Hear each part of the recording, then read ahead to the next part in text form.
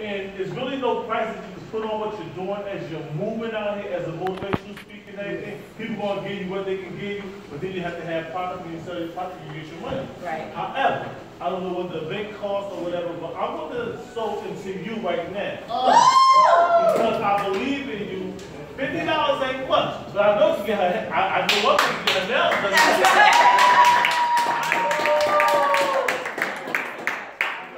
done. Thank you so much.